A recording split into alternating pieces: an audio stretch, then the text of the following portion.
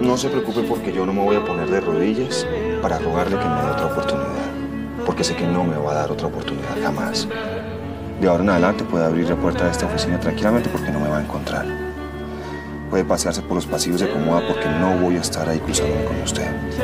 Puede dejar el pánico y llegar a su casa y de pronto ver que mi carro está esperándola porque ya no lo voy a hacer más.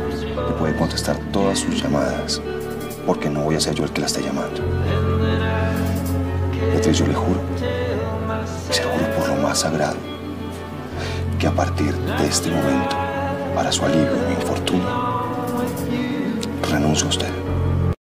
Dos caras de la moneda cuando esto pasa en la vida real. Por un lado, puede que yo quiera expresar lo que siento porque quiero de cierto modo sacar mi sentir y expresar lo que siento para poder pasar la página, que la otra persona me escuche y yo así pueda pasar la página, es para como quien dice para concluir las cosas.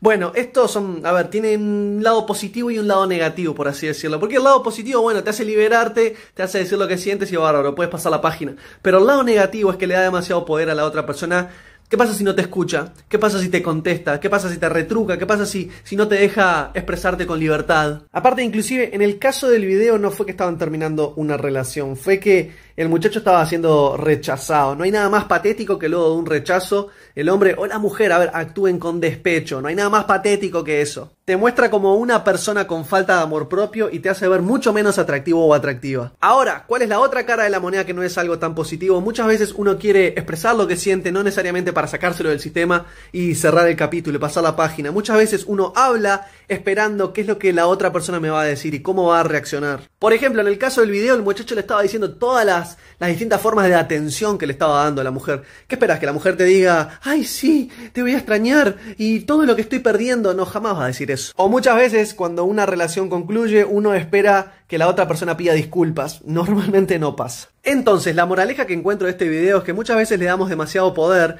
a pasar la página a lo que la otra persona dice. Y en realidad, a ver, con motivo suficiente de que soy infeliz en la relación, ya está, ya es suficiente, no necesita haber consenso, o no necesito una disculpa, o no necesito que la persona me diga, ay, sí, te voy a extrañar un montón. No, eso le da demasiado poder a la otra persona y no te deja pasar la página. Y bueno, en la vida real cada caso es distinto. Hay personas que hablándolo se sacan esa espina que les queda atravesada y pueden continuar con sus vidas, pero hay personas que al hablarlo les termina jugando muy en contra. Así que bueno, para analizar, pensar y reflexionar. Espero que ayuden, nos vemos en la próxima. Chao.